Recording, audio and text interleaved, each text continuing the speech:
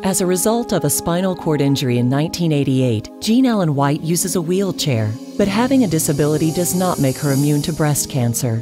That's why Jean Ellen regularly gets a mammogram. If you're over 40, you need a mammogram and a clinical exam every one to two years. Overcoming the obstacles caused by a disability may be difficult, but the consequences of not getting a mammogram could be worse.